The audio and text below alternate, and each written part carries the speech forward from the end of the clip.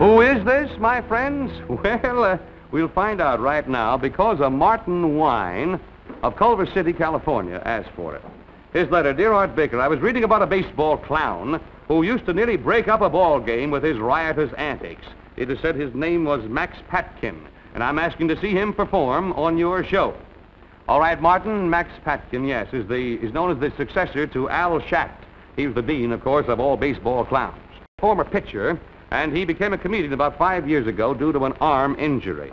And so, because you asked for it right now with his sideline tomfoolery, I want to give you that, uh, that contortionist from the St. Louis Brown with his own inimitable style of pitching, Max Patkin. Now, pitcher's a very rugged individual. Terrific courage he has and strength. He sizes up each batter with great care. And he places his men in the wisest defensive positions.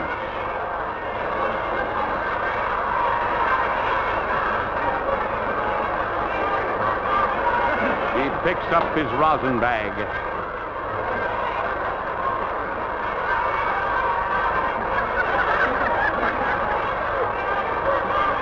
and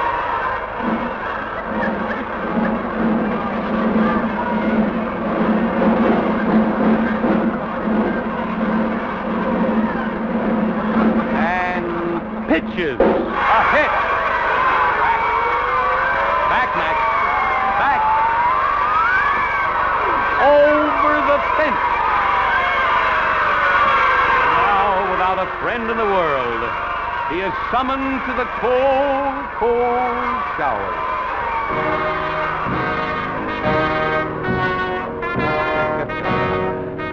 that happens to be a very realistic picture of a, of a twirler in trouble. You see, Max was a pitcher at one time before his injury.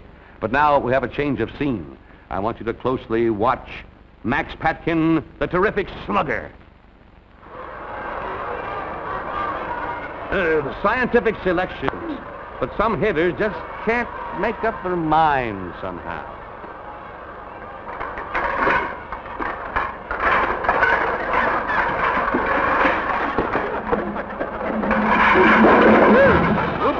Well, it doesn't bother him at all. Little dirt on the hands. He'll be ready. Hmm?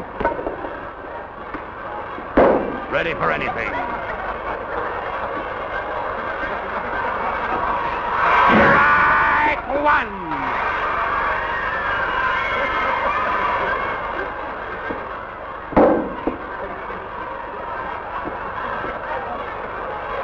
Max, look out! A beanball!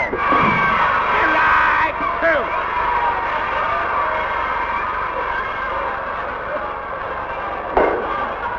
He says to the umpire, could you possibly have been mistaken?